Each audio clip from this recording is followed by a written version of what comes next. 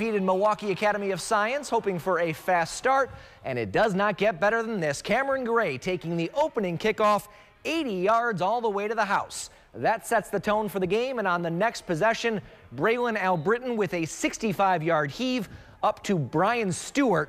Nothing stopping this train. Josiah Johnson later continuing his ridiculous season. He's averaging more than 200 rushing yards per game.